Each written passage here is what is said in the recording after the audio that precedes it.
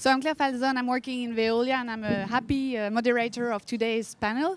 I'm very happy to be uh, with uh, uh two wonderful women in charge of uh, uh, very important responsibility and able to provide solution on that important topic, resource scarcity. How do we manage and invent solutions for today and tomorrow? So I propose we starts uh, today. So I'm welcoming Alix LeBec in charge, Executive Vice President in charge of Investor Relations uh, at Water Equity, mm -hmm. and Sabrina Grover, uh, Executive Partnerships uh, Directors for um, um, uh, sorry, Y7, uh, young diplomats and uh, important member of Y7. So I suggest we start with uh, uh, a first question that I will ask to uh, both of you.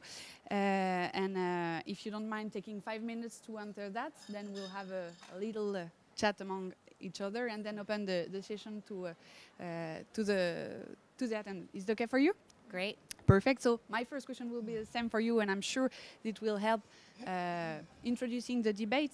Um, how, how did the, the ex experience that people living in a resource scarcity and resource limited environment help us inform new solutions to help them? Alix, great. great, great. Well, and again, it's an honor to be here today. Thanks to everyone who is coming to our session. So it's a great question, Claire, because actually the experiences of people living in resource-stressed communities, particularly women, has been a very important data point that has driven much of our work at water.org, which is a global nonprofit, and now Water Equity, which is an impact investment manager that was incubated by water.org. And so two important data points have been that one, we caught on pretty early on that you know, a majority of people who live in poverty typically pay up to 15 times more for their water than a middle income neighbor that is connected to the water pipes operated by the utility. And that's for a number of reasons, but one of them being that you know, they end up having to purchase water from a water vendor that's likely to hike up the price, they end up paying more. Two, there's at least half a billion people living in poverty who want to participate financially to be able to purchase the water and sanitation solutions they need. That's a $12 billion unmet market demand. And when I say half a billion people, you know, that's majoritarily women, women who want to have access to affordable financing in the form of microloans to be able, again, to purchase water and sanitation solutions that they need. So this informed um, a model that we developed called Water Credit. And the way Water Credit works is that water.org as a nonprofit has provided about $26 million in philanthropic capital to over 80 local microfinance institutions all over the world to help them develop this specific loan product called Water Credit. With that support, those 80 financial institutions have attracted over a billion dollars in local commercial financing for water and sanitation loans for the poor a majority of people taking out these loans are women. That's a billion dollars that we didn't have to raise in the form of philanthropic fundraising. Now, this is exciting. You know, Water Credit has impacted more than 15 million lives, but it's not enough. So with water equity, the opportunity that we've tried to create is to demonstrate that there are now really strong investment opportunities, not just in the microfinance institutions providing these loans, but also in the water and sanitation enterprises that are playing a very important role all across the supply chain, whether it's a micro utility, whether it's a water purification or sales kiosk, a toilet manufacturer, and et cetera. And so, you know, we just closed our first $48 million impact investment fund that is already expected to invest about $21 million before the end of the year in a range of enterprises uh, across India, Cambodia, and Indonesia. And so this is, the viability of this market is what we're trying to demonstrate. And before I close, Claire, I, I also would share, because I know stories help to bring these st statistics to life. So, you know, there's a, a, woman that I recently met in Cambodia who took out a water credit loan. Pri prior to taking out that loan, she was really struggling to pay the $26 a month water bill. And by the way, this was a water bill for a water connection that was contaminated with arsenic. And this is a woman, you know, who was, her and her family were earning anywhere between two to $8 a day she saw her family members get sick. So she decided to take matters into her own hands. She met with a local microfinance bank that works with water.org. She took out a water credit loan. She repaid that loan in the span of one year, and now she's paying $7 a month for her safe water connection. So it's a pretty big difference in terms of the economics for that woman. I think you're right. You, you really need, and we need to have these very concrete examples in, in mind to, to see if the solutions are efficient. But before taking other example, I just would like you to explain to us how you manage to gather very diverse uh, investors in a fund. You, you said it very modestly, quickly, but what you managed to do last year was quite impressive. Could you say a little bit uh, um, on that? Sure, sure, sure. It's a great question. So it was, you know, it was tough, right? It's it's hard raising impact investing dollars because you do have such a wide range of investors who all have very different risk thresholds and particularly different risk return expectations. So we got creative in terms of uh, developing a blended finance vehicle that on one hand, you know, had a first loss guarantee to $5 million that enabled an investor such as Bank of America to come on board with a $5 million zero interest loan. The reason Bank of America was able to do that is beyond the loss guarantee, there's also two equity classes below the debt uh, facility that they invested in that basically provided enough capital cushion for them to come in. But also, what was interesting is that by having these two equity classes plus a $5 million first loss philanthropic guarantee is it gave socially minded investors such as the Skoll Foundation, the Hilton Foundation, a chance to invest in this vehicle in a way where they could be very catalytic because they knew that their investment would enable institutional players such as Bank of America to come in.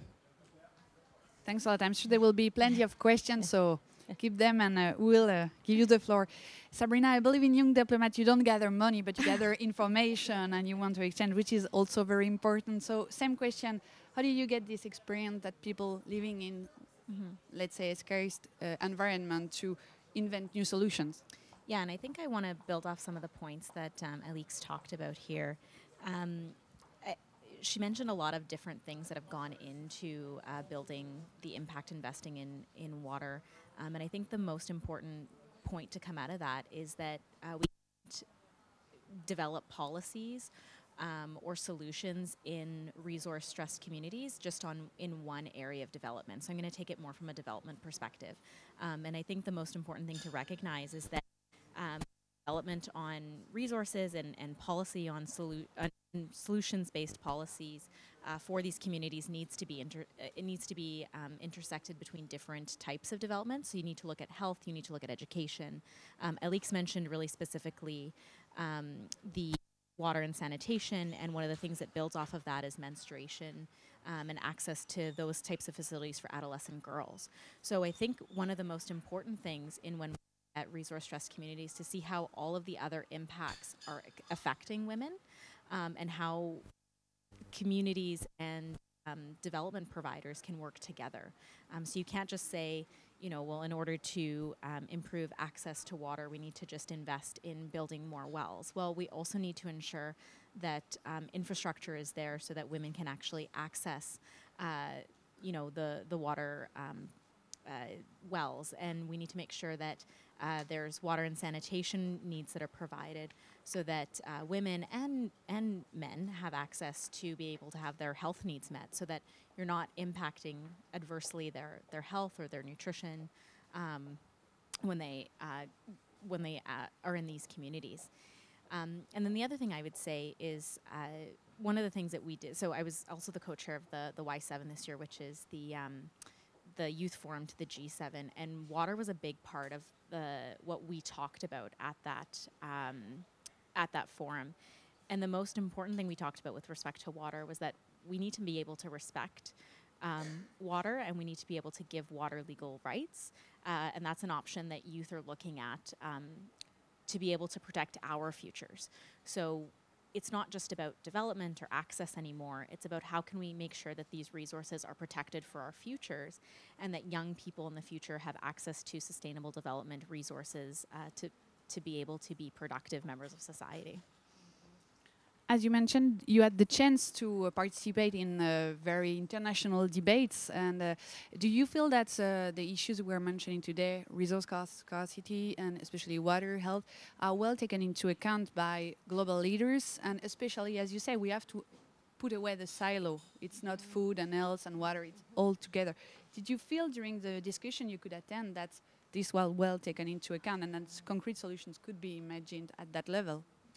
Yeah, I believe that there's a lot of um, concrete solutions that are coming forward. Uh, the G7 this year hosted a debate on what on protecting um, climate change, and specifically, they focused it on oceans, um, which is a huge part of of ensuring that uh, a lot of the communities have access to resources.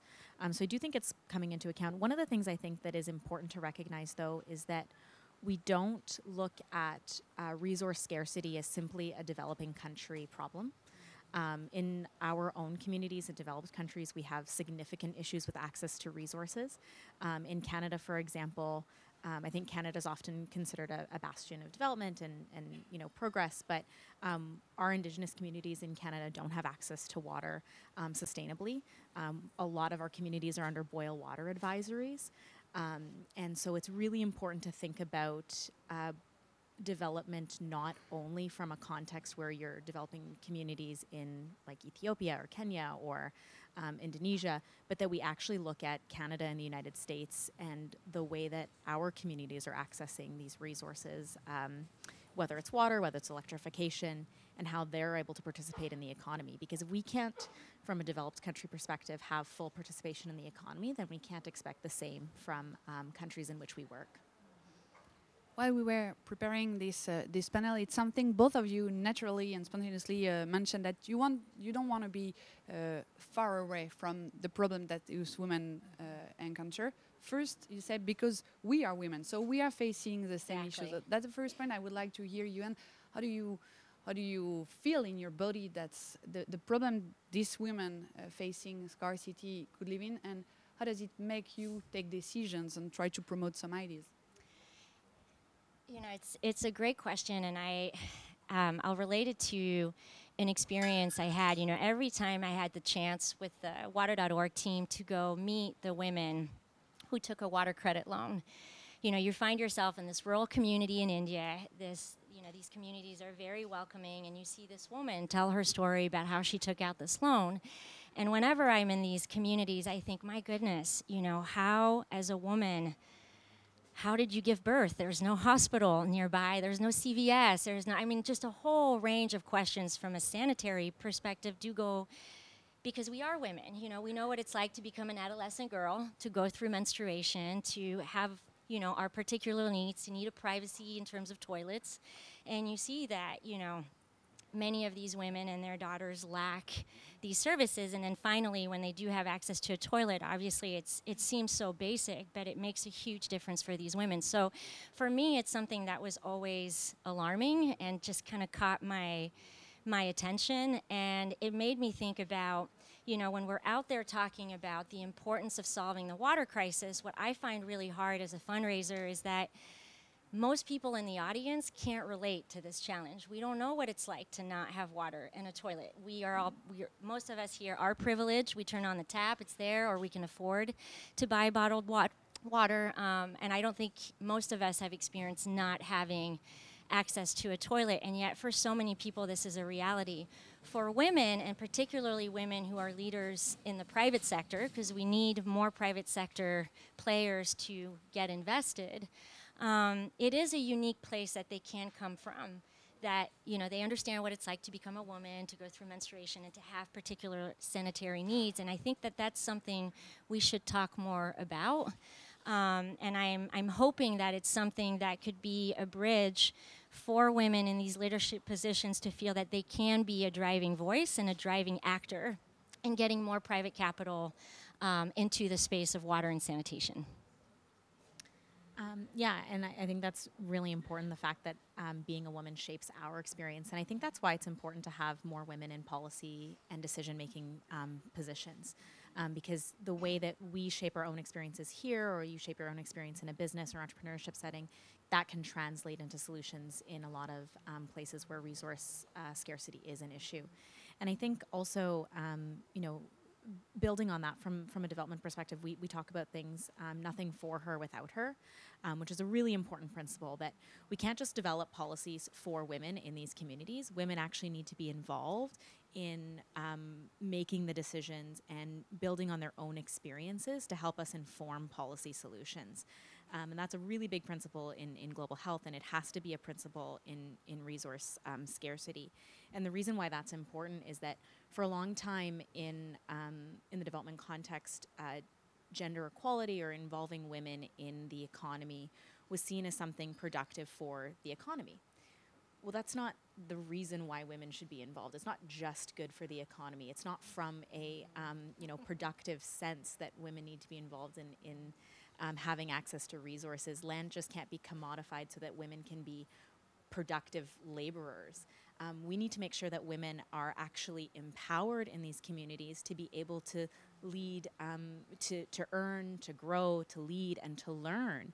And so that starts um, informing innovative solutions, starts with changing attitudes, starts with changing norms, starts with changing the approach that a lot of um, countries and NGOs specifically take to including women in decision making roles. Um, and I think one of the important places where it starts uh, is with adolescent girls.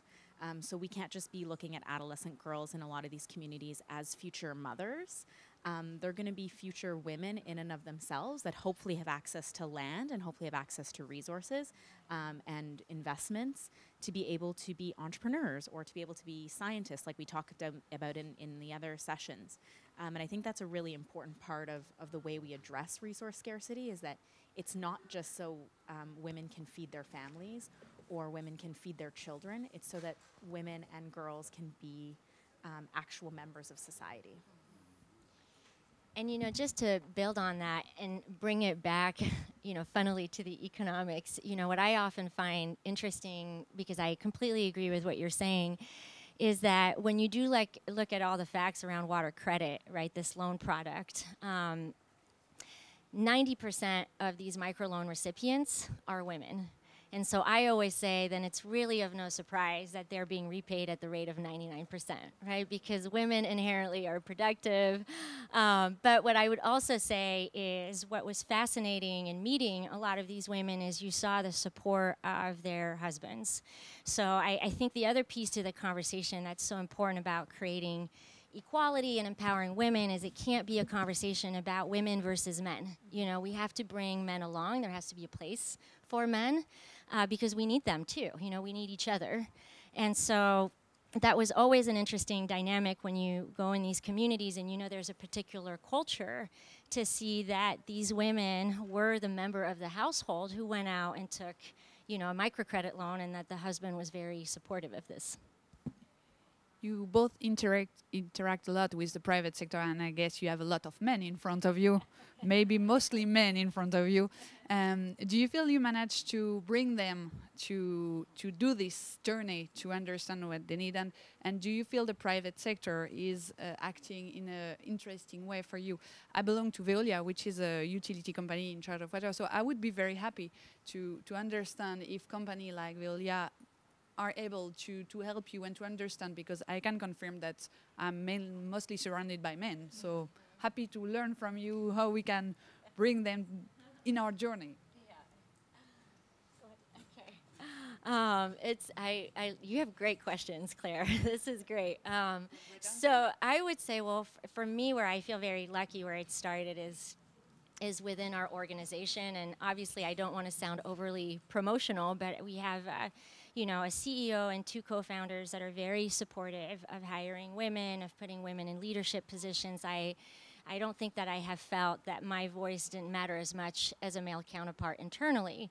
However, certainly in meetings with, you know, investors or prospective partners, there's always a shift in dynamics, particularly when I've been the only woman in the room, where I have had really the the luck of working with some pretty great partners. So you have IKEA, the, the foundation that's led by Per Heggenes. So he has been uh, a very supportive uh, partner for, for me and the organization and scaling water credits. I think he's a great example, again, of male leadership that's been supportive and represents an important uh, private sector brand. And then the other is a water company based out in California called Niagara Bottling, where the woman that I work with uh, reports directly to the CEO, and both have just an incredibly supportive dynamic. And I think it really demonstrates a strong model of both male and, and female leadership. And finally, in terms of Veolia, you know, I, I know that we have been in touch with Veol- Veolia and uh, particularly with a, a, piece of the team that's been focusing on public private partnerships in Bangladesh. Uh, which hasn't been a direct connecting point with us, but where the conversations have been really fruitful, is that Veolia has continuously reached out to learn from our work and try to see where those synergies might happen in the future. Okay, great. Um, so actually, this year from the Y7 perspective, uh, we had 70% of our delegates uh, as women from all of the G7 countries, which I think is phenomenal. Um, it really shows a couple of things. It shows that um, young women in developed communities are really excited about the issues that we're facing, um, both in their own countries, but also the way that we interact and um, encourage the G7 uh, leaders to look to investing um, and look to things like uh, you know where they're going to put their money, where they're going to legislate and and, and then, um, invest in the future. Um, in contrast to that, uh, the G7 Sherpas, uh, as well as the G7 leaders, are mostly men. Um, so, out of the current G7, there's only one uh, female um, leader, uh, Angela Merkel. And if we looked at the G7 um, Sherpas, I believe they were all men this year. And so I think there's still um, a huge ceiling for um, women to be able to break into official leadership positions. It's great that we had 70% women at the Y7 format. And I think that young people um, aren't just leaders of tomorrow. I think that they're leaders of today. I think they're actually impacting change today. And I don't think that they need to be, um, you know, in official leadership positions in order to make change, like encouraging um, rights for water, like encouraging the protection of our oceans but I think it's clear that young women still need to be promoted into these leadership roles. Um, for the entirety of the G7 to be led almost entirely by men um, isn't great for young women to be able to see themselves in those roles and then be able to see themselves in the policies and the legislation that comes from that. Um, so, again, I think we're going back to that principle that you can't be developing policies for her without her. And I think more women need to be in those roles front and center, not just roles where they're chiefs of staff or they're policy advisors or they're, um, you know, in, in secondary positions.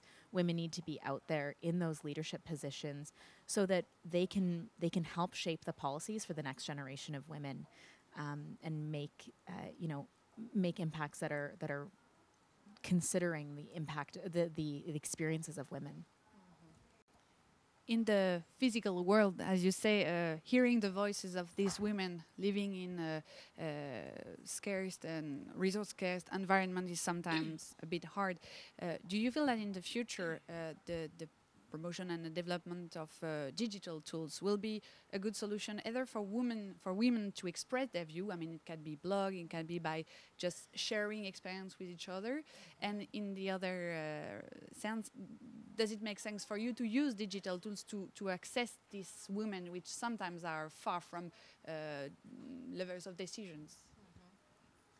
So I mean, I think technology, you know, when developed with good intention and with well informed data, can always play a really positive role. I mean, I think in the context of water and sanitation, where it can be helpful is in, in monitoring the consumption of water. Uh, you know, I, if you link technology with water meters, and it also can be very helpful in the context of monitoring and evaluation.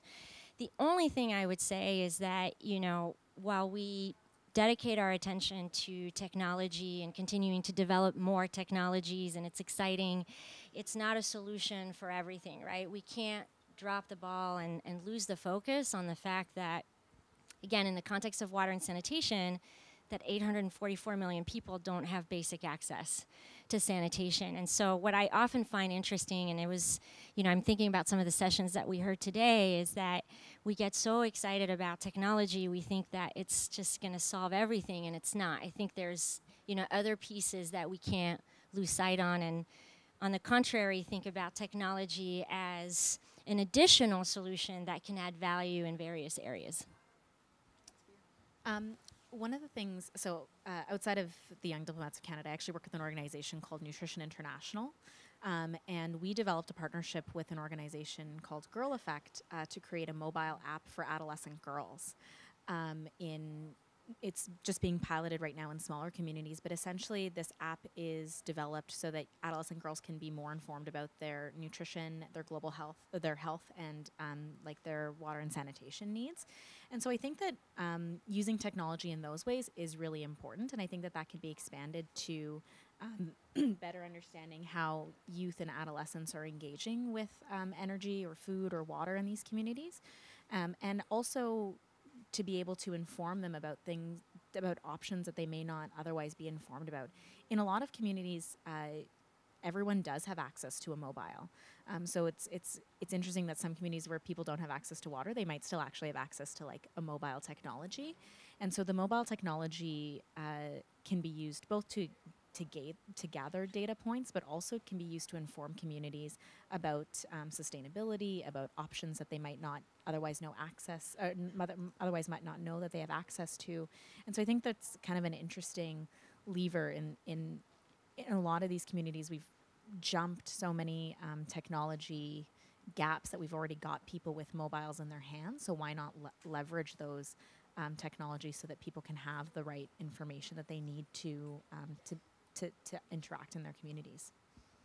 Thanks. It's really easy to moderate this panel because you both are passionate and your answer is super pragmatic. So it raises a lot of questions to me, but I have to share this pleasure with uh, our audience today. So if you're okay, I suggest we, we take a few questions. If you don't mind, we'll take two, three questions and uh, our panelists are going to answer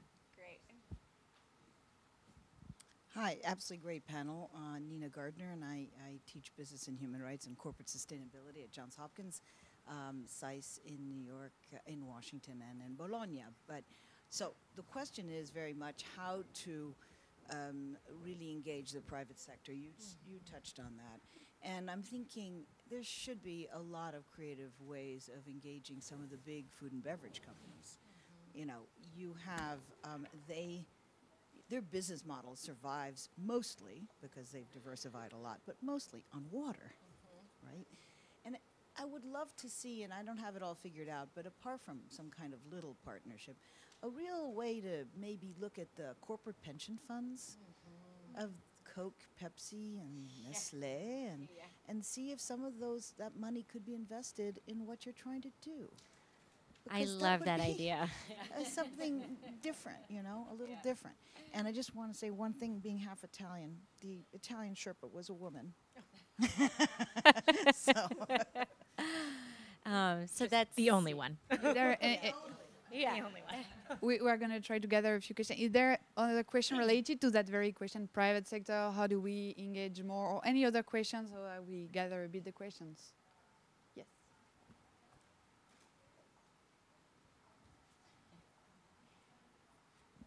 Hello, um, thank you so much for your ability to share uh, your experiences. I am from Bolivia, um, a country that is um, facing a lot of uh, scarcity issues, but particularly with water, and it's also a country that exports a, lot of natural gas, uh, and therefore there is this uh, very difficult connection.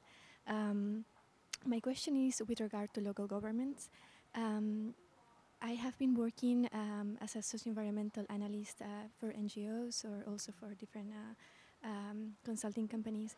And it happens that um, in the very, very small communities, when there is uh, some sort of initiative uh, of this sort, uh, the local government somehow takes this initiative as a way to kind of um, redeem themselves from their responsibilities, mm-hmm. you know? Um, since there is a company or a consulting company or an NGO that is operating there, all of a sudden they say, okay, they're getting people are getting help, uh, and they lift their hands. It's not always the case. It is the case in Bolivia and also in uh, what I've seen in uh, in Kenya and also in Jordan.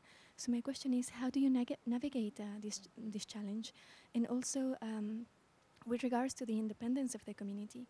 Um, so you know, uh, organizations like yours offers help but at some point down the line, it is important important also to let the community know that at some point, you know, they, they have to um, receive the help and also understand that they have to live their independence economically and otherwise.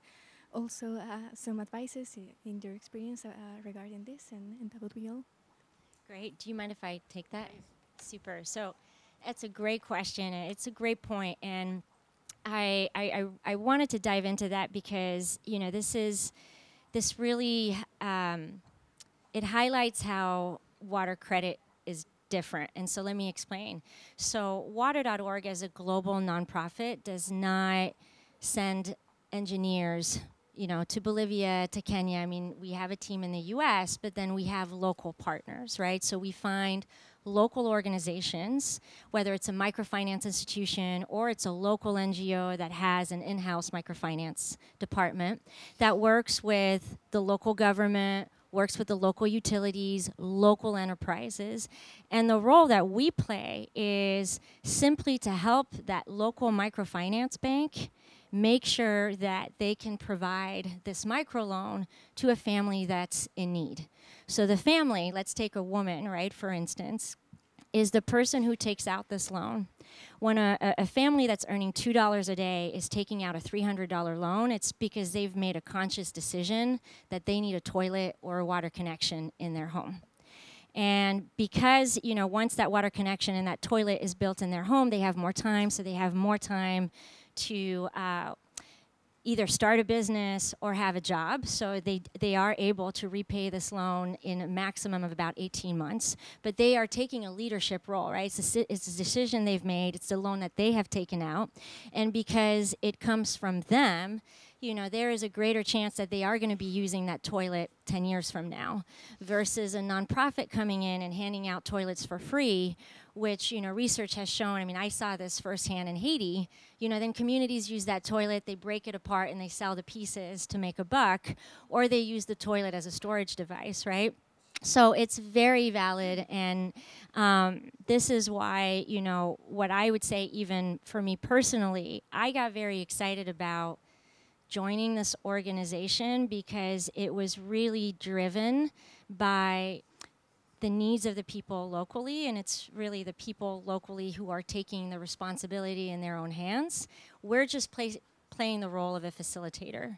And where it dovetails into your point about engaging the private sector, you know, when I joined water.org in 2010, we had maybe two microfinance institution partners in India and I think one in Bangladesh. And you know, I just I remember us sitting in a room thinking about scaling this idea globally and convincing banks that you know they could develop this loan product and you know that it would be profitable in the long run. And we thought, you know, this is crazy. I have no idea how this will work. And here we are, you know, in 2018, and there's now 80 microfinance institutions all over the world who are providing these loans.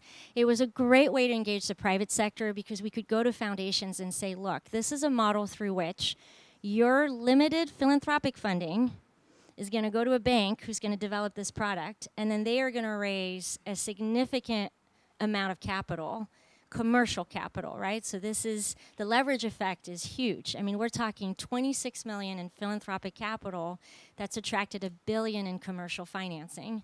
Um, and so that was really a great way to go to private sector foundations and say, this is really good bang for your buck. You're a, you're a food and beverage company, so PepsiCo is one of our funders. This is a win win. Um, so, anyway, just another point for your question. Yes. Or the board, yeah. exactly.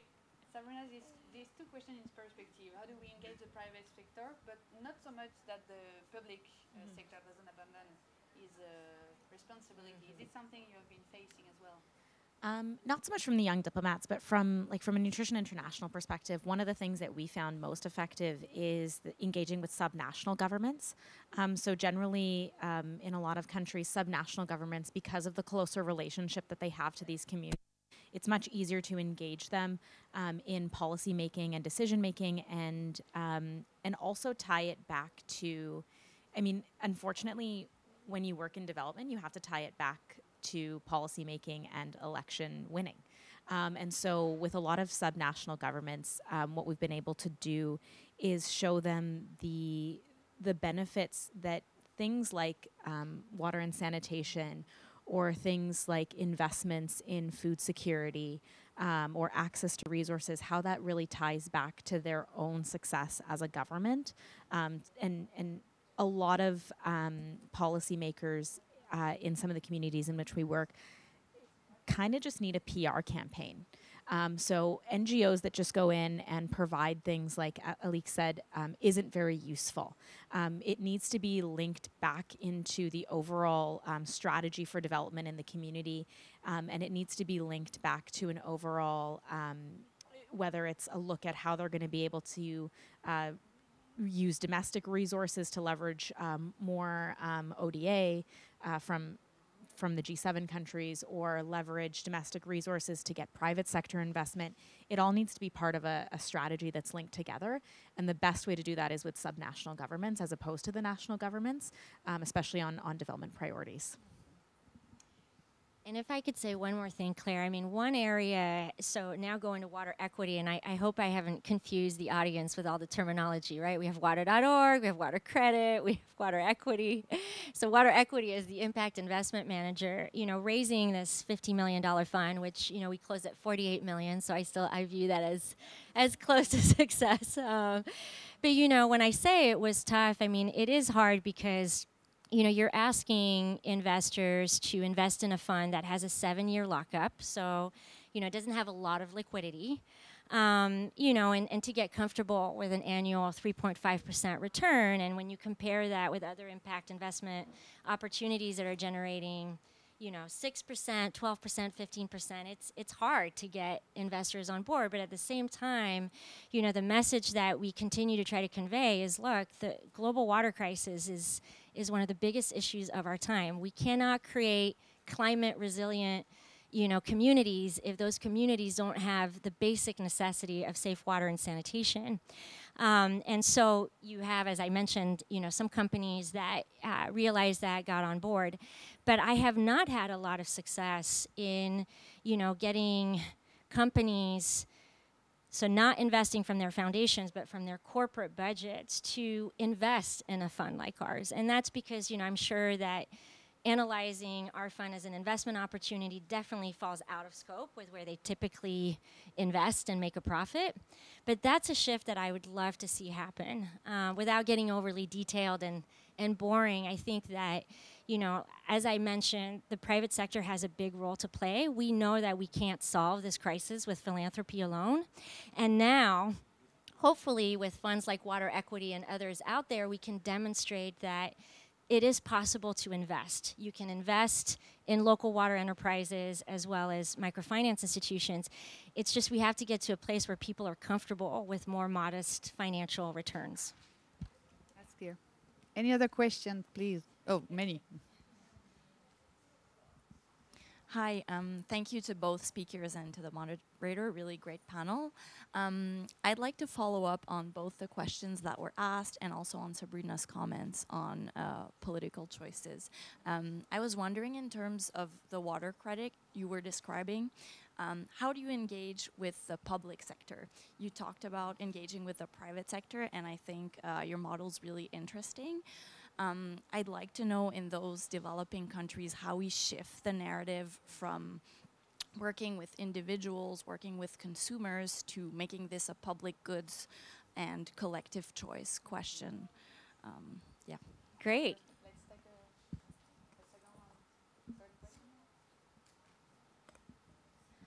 Hello, uh, thank you all. Uh, it's not really a question, but uh, I just want to interject about what has been said before. I'm come from Haiti, and I'm really concerned about the fact that in some countries, um, somehow NGOs took the power, uh, if I can say it, say it like that. And as a matter of fact, uh, the thing is, we are not able to empower people when uh, NGOs or philanthropy are doing everything, and that people and people that want to build their countries or locally they are in competition with NGOs, and we are destroying the local economy. And I think this is something that we have to figure out. And if uh, philanthropy can bring a country, I think Haiti would have been the greatest country in the world. So I really think that we must be really careful about what we are doing, about the policy, about the real impact on the field, the real impact there is in the economy, uh, country economy, and uh, make sure that we really engage people, develop people. And when uh, an NGO came for an urgency matter, uh, there is a beginning and there is a hand, and people are empowered to continue uh, the what have been done. And uh, the NGO is not taking, um, how I can say, uh, uh, they, they are not uh, there for long. This is really what I wanted to say. That's super clear, really. Maybe a third question or? maybe more, thank you anyway, because it's really uh, very, very interesting what you say and what you do uh, to change, uh, let's say, life for a lot of people in the world. Uh, my question might be more for Veolia, I don't know. Uh, we said this morning that 70% of the population is going to live in the in the cities, and and the population is growing. So how do you see, in a global way, the capacity of the, let's say, of the world, the organization to, to supply water to all the population, including those in the city, which is uh, uh, technically a different problem than the one uh, you have mentioned.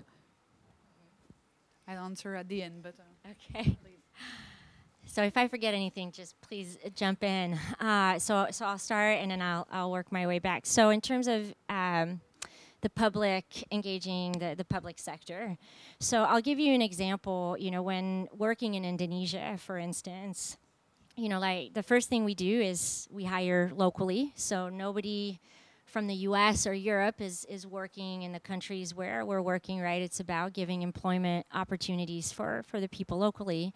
Uh, the first thing we do is engage with the government to understand what is your big picture water and sanitation needs and, and how, how are you anticipating meeting those needs. And in the case of Indonesia, you know, there was an interesting um, situation where they were hoping that communi- local community-based organizations could play the role of rural utilities, so expanding water coverage in, in communities in need in, in rural areas.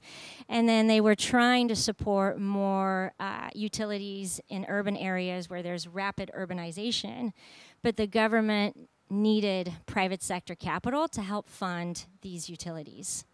So one of the things that we thought about in the context of water equity as we're trying to raise investment dollars from impact investors in the US and Europe is how can we support that and help invest um, in those utilities and work side by side with the government on that. So that's pretty much been a similar framework to what we've done um, in other countries. I know in India, it's been, you know, with the Indian government, Swachh Bharat, you know, this big initiative to, for everybody to have toilets. We've worked very closely with local government authorities, again, trying to figure out where can we solve a gap.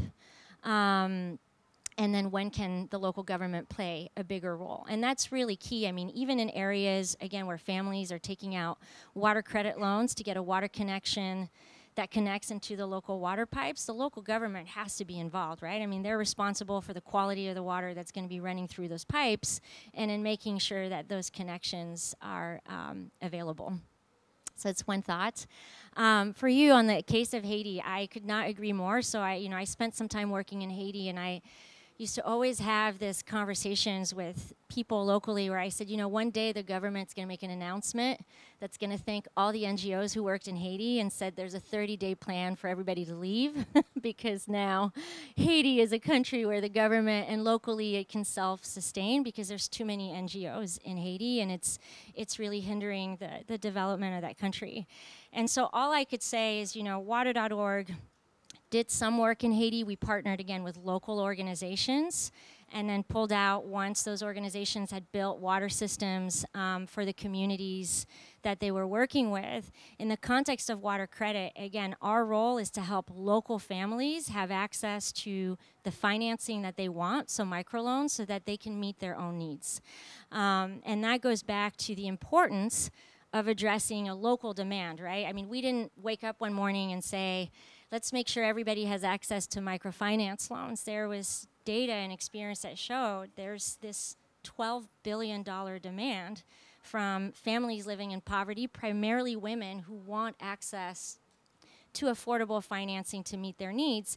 And to me, it feels the same as, you know, I couldn't go to college if I didn't have access to a loan, right? I have access to a wide range of financial services that made it possible for me to have a future. So, anyway, I, I very much agree um, with your statement. And then uh, finally, with you, you know, I would say that one of the things we're exploring for our next fund is how can we work alongside players such as Veolia to think about investing in utilities that are going to have bigger and bigger responsibility um, in rapidly growing urban areas, one of them being Indonesia.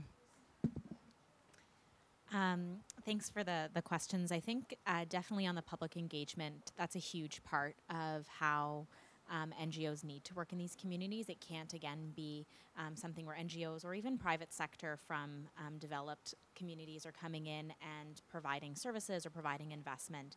Um, the biggest focus right now on achieving the SDGs is on domestic resource mobilization. And so, um, in, in a lot of countries and in a lot of forums, if you look at the, the Global Financing Facility or any of the big um, international funds, any investments that are coming in from official development assistance or coming in from developed countries um, needs to be leveraged and used for domestic resource mobilization in the communities, in um, by local governments themselves, because otherwise it's not self-sustaining.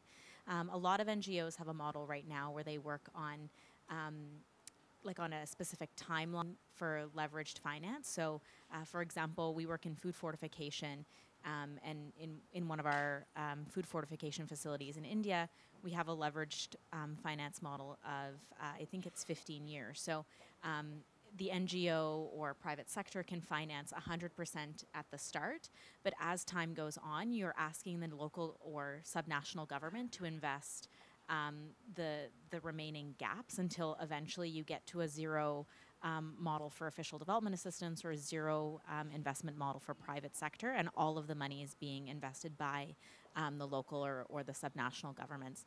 Um, it's a really important part of the way that financing is going to be done um, from a development perspective, and I think also importantly, um,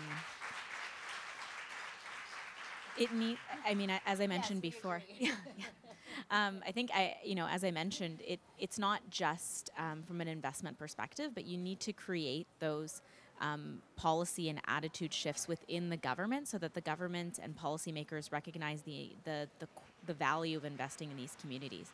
And I think something that we didn't really mention, but I think is important, is um, resource scarcity has a lot of uh, ties back to conflict.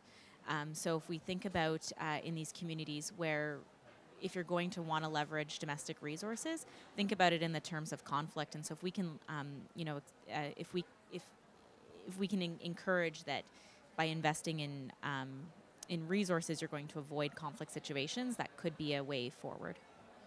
And before concluding the panel, because as you see, we are all concluding, to answer for uh, Veolia, an interesting point for a company like Veolia, which is global and operating in 45 countries, serving 90 millions of people in water, is that there is always a solution. You can always bring water, whether it will desalination, whether it can be by uh, filtrating the water, recycling, the reuse of water. So there is always a solution, and uh, we operate in so many different situations that really we can find a solution to bring it to everyone. The question is really about uh, financing it and how making uh, all communities accept public-private partnership because it has to be a public-private partnership at some point, whether it's delegation of this issue or it's really more a strategic partnership. And so these kind of uh, ideas, solutions show that uh, we have to adapt this model to every specific geographical situation. So we have to, a company like Veolia has to adapt to local situation. What we did with partnering with Grameen Foundation and Mohamed Yunus, for instance, in Bangladesh, was really to how we bring the water to the people and how we explain to the people, please do not open the tap while the, the work is not done because it's dangerous for your health. So it's really explaining and going to the people. So we need to partner, as you say, we need to work all together. And this kind of initiative is really interesting because it's a, a good opportunity to, to to think in a different way about our what is our business and what is the need of people.